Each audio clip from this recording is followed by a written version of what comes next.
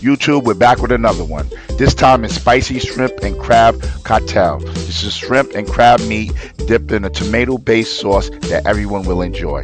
Now for the ingredients. Two medium cucumbers peeled, seeded, and chopped, eight radishes, halved and t- thinly sliced, two cups of spicy hot V8 juice, one cup of clamato juice, a half a cup of finely chopped red onions, half a cup of ketchup, five jalapenos seeded and chopped, a half a cup of coarsely chopped fresh cilantro, two garlic cloves minced, half a teaspoon of salt, one pound of peeled, deveined, cooked small shrimp, one pound of lump crab meat drained, two medium ripe avocados peeled and cubed.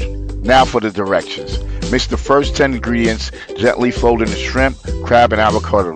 Refrigerate, cover at least two hours or until cold. Serve in a martini cup. There you have it, a spicy shrimp and crab cocktail that's deliciously made, packs a nice spicy punch, and everybody will enjoy.